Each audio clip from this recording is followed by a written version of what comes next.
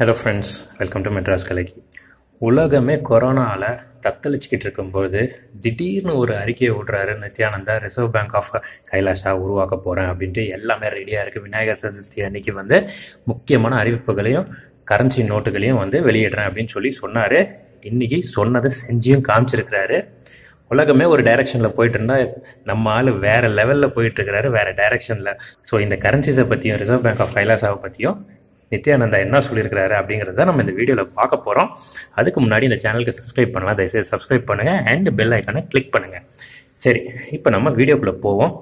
முதல்ல Nithyananda reserve bank of Kailasa அப்படின்னு ஒரு பேங்கை உருவாக்கியிருக்கதா சொன்னார். போன வாரம் பொருளாதார கொள்கைகளையும் உருவாக்கியிருக்கேன் அப்படின்னு சொல்லி சொல்லியிருக்காரு.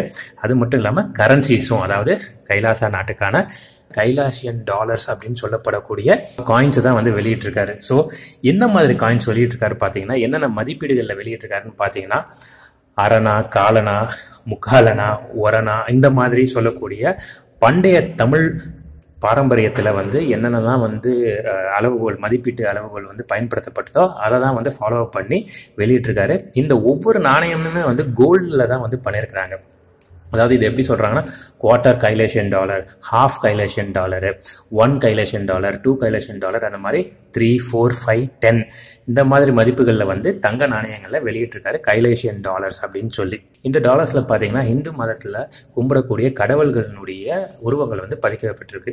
அதாவது விநாயகர் சிலையாக இருக்கட்டும் இல்லை ஒரு அம்மன் சிலையாக இருக்கட்டும் ராமரனுடைய உருவங்கள் இதெல்லாமே வந்து பதிக்கப்பட்டிருக்கு இந்த நாணயங்களில். ஸோ இதுதான் வந்து நம்மளுடைய கைலாசியன் நாட்டினுடைய கரன்சிஸ் அப்படின்னு சொல்லி நித்யானந்தா சொல்கிறாரு சரி இப்போ ரிசர்வ் பேங்க் ஆஃப் கைலாசா பற்றி பார்ப்போம் அதை பற்றி என்ன சொல்கிறாருன்னு பார்த்தீங்கன்னா இவருக்கும் ரிசர்வ் பேங்க் ஆஃப் கைலாசுக்கும் எந்த விதமான சம்பந்தமும் கிடையாது. அஃபிஷியலாக அதனால் ரிசர்வ் பேங்க் ஆஃப் கைலாசனுடைய எந்த விட ஒரு ஆப்ரேஷன்லேயும் வந்து இவருடைய இன்வால்மெண்ட் இருக்காது. அதை இவர் ரெப்ரசன்ட்டும் பண்ணலை அப்படின்னு சொல்லி சொல்கிறாரு இவருடைய ஒரே பங்களிப்பு என்னன்னு பார்த்தீங்கன்னா ரிசர்வ் பேங்க் ஆஃப் கைலாசாவுடைய பொருளாதார கொள்கைகளை வந்து உருவாக்குறதுல இவர் வந்து கைடன்ஸ் கொடுத்துருக்காரு. இவர் வந்து அதுக்கு வந்து சப்போர்ட் பண்ணியிருக்காருன்றது மட்டும்தான் வந்து ரிசர்வ் பேங்க் ஆஃப் கைலாசாக்கும் நித்யானந்தாக்கும் உள்ள ஒரே தொடர்பு அப்படின்னு சொல்லியும் அஃபிஷியலாக சொல்கிறாரு இந்த ரிசர்வ் பேங்க் ஆஃப் கைலாசா வந்து யாரால் நடத்தப்படும் அப்படின்னு கேட்டிங்கன்னா அந்த கைலாச நாட்டில் இருக்கக்கூடிய சன்னியாசிகள் இருப்பாங்க இல்லையா? அவங்க தான் வந்து இதை வந்து நடத்துவாங்க. இந்த ரிசர்வ் பேங்க் ஆஃப் கைலாசா வந்து நடத்துவாங்க அப்படின்னு சொல்லி சொல்கிறாரு